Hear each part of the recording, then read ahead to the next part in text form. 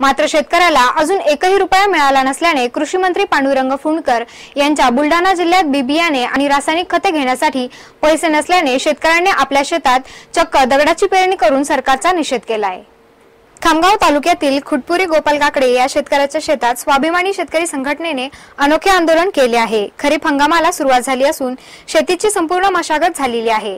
मात्र शेतकऱ्याजवळ बी बियाणे घेऊन पेरणी करण्यासाठी पैसे नसल्याने शेतकऱ्याने शेतात दगड आणि रेतीची पेरणी केली आहे.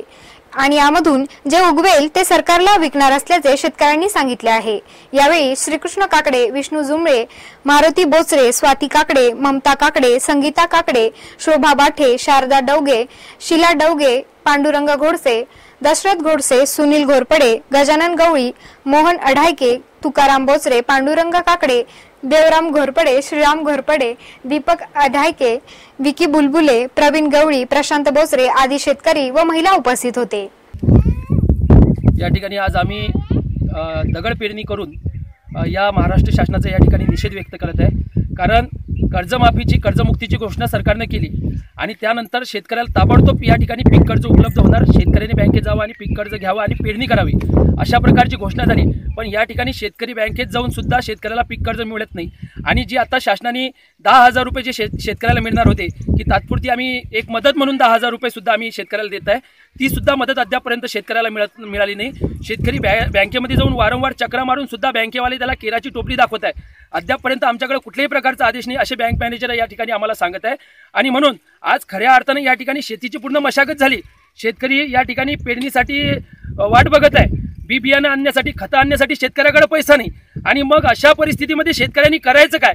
आणि म्हणून आम्ही हे दगड पेरणी या ठिकाणी आंदोलन करत आहे की जेणेकरून हे आंदोलन बघितल्यानंतर कुठेतरी महाराष्ट्र शासनाचे या ठिकाणी डोळे उघडतील देवेंद्र फडणवीस साहेबांचे या ठिकाणी डोळे उघडतील आणि तात्काळ आमच्या शेतकऱ्याला या ठिकाणी पीक कर्ज उपलब्ध होईल आणि जेणेकरून पीक कर्ज मिळाल्यानंतर आम्ही पेरणी करू शकतो. आणि झालं काय माहिती आहे का? आज सरकारने या ठिकाणी गांभीर्यानं विचार करण्याची गरज आहे. कारण पोळ्याचा सण असतो पोळ्याच्या सणाच्या दिवशी आम्ही शेतकरी या ठिकाणी खानमळणी म्हणून एक पोळ्याच्या आदल्या दिवशी साजरी करतो. बैलाच्या खांद्याला हळद लावून लोणी लावून त्या ठिकाणी बैलाच्या खांद्याची आम्ही हे करतो मालिश करतो आणि त्या ठिकाणी पूजा करतो. आणि एक म्हण म्हणतो की बाबा सर म्हटलं सरला धूर म्हटलं धुरला काशानं आवडला तुत्यानं मारला धावधाव मेला पूर्वी नाही जेवला आज आमंत्रण घ्या आणि उद्या जेवायला या. आज सरकारनं हीच परिस्थिती आमच्यावर आणलेली आहे. म्हणजे आज सरकार आम्हाला शेतकऱ्याला काही बैल समजत आहे का? आणि तुम्ही कर्जमुक्तीची कर्जमाफीची घोषणा केली पण ती अद्यापर्यंत आमच्या शेतकऱ्याला मिळाली नाही. आणि मग तुम्ही अशा प्रकारचं नुसतं बघता आम्हाला शेतकऱ्याला आमंत्रण दिलं पण आज आम्ही उपाशी आहे. आणि म्हणून जर महाराष्ट्र सरकार जर शेतकऱ्याला जर बैल समजत असेल तर ध्यानात ठेवा की बैल टाइम पडलेला माणसाला शिंगार घ्यायला सुद्धा मागं पुढे करणार नाही. म्हणून तुम्ही शेतकऱ्याला जर बैल समजत असाल आणि मूर्ख जर समजत असाल आणि आम्हाला जर गाजर दाखवत असाल तर आता आम्ही हे सहन करणार नाही. आम्ही बैल जरी म्हटलं तुम्ही जरी आम्हाला तरी आम्ही तुम्हाला आता येणाऱ्या भविष्यामध्ये तुम्हाला शिंगार घेतल्याशिवाय राहणार नाही. आमचं एकच म्हणणं आहे की तात्काळ आमच्या शेतकऱ्याला पीक कर्ज उपलब्ध व्हावं आणि जेणेकरून आमची पेरणी या ठिकाणी व्हावी.